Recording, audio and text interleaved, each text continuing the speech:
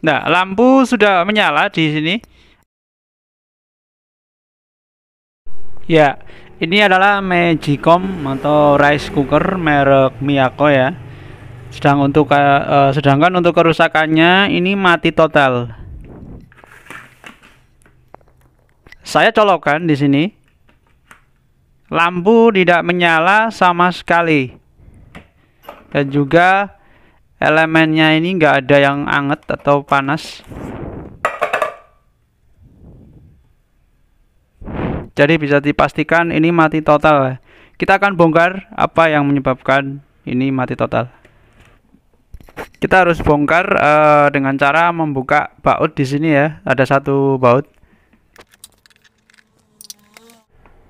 Kemudian di sini ya kita dorong ke bawah seperti ini.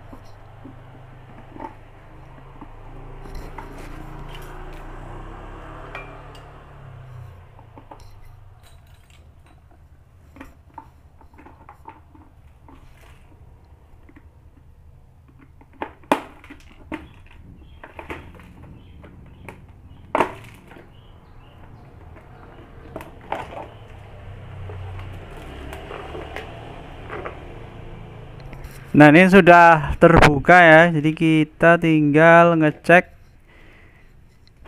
Dari kabel ini jacknya. Kita cek ke sini. Kita bisa lihat ya di sini ada sambungan. Dari jack ini ada kabel biru dan juga kabel coklat. Nah, kabel coklat ini melalui sebuah sambungan. Kita lihat apa ya ada di dalamnya.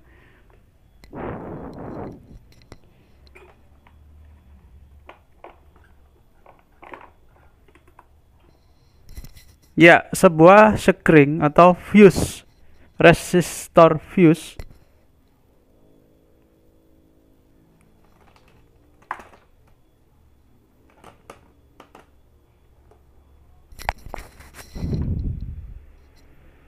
Nah, inilah penyebabnya yang kenapa dia jadi mati total.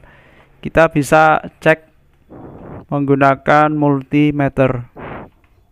Dengan dengan cek ini dia harusnya nyambung ya. Salah satu cek ini harusnya nyambung.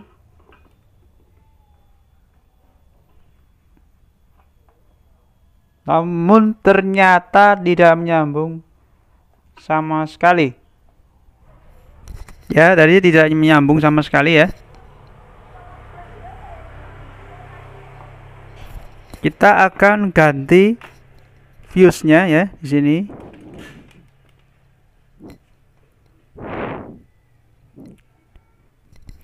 Ya, berhubung saya mencari ini adalah fuse 10 ampere 250 volt saya nggak nemu.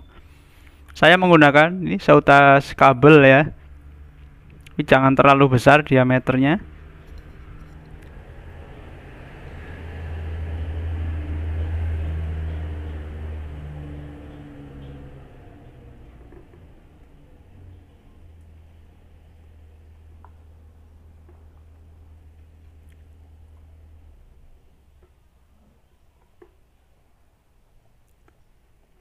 Nah, saya menggunakan seutas kabel ini ya. Kemudian karena ini biar awet, kita solder.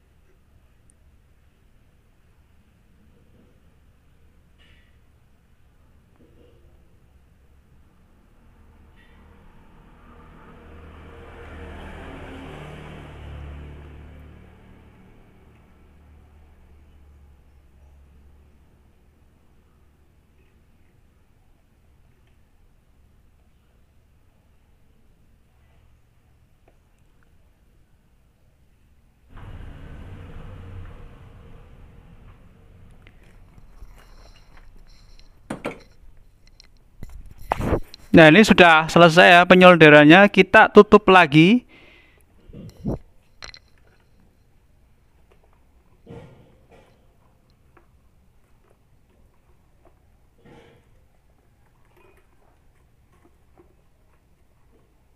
Kita akan cek menggunakan multimeter.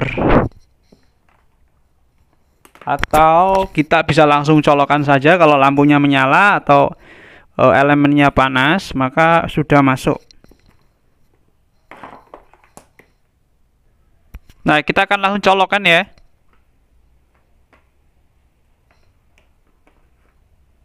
Nah lampu sudah menyala di sini. Artinya ini listriknya listriknya sudah masuk ya. Jadi kayak kalau tadi sama sekali nggak ada lampu menyala. Kita tunggu beberapa menit kalau elemennya panas atau anget berarti sudah normal. Ya, setelah saya tunggu beberapa menit saya pegang di sini dan juga di sini hangat ya, sudah saya cabut listriknya. Nah, ini saya pegang di sini hangat.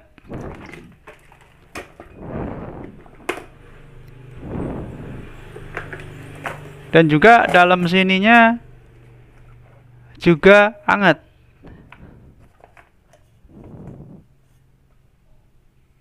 Jadi demikian ya e, cara memperbaiki Magicom atau rice cooker yang mati total.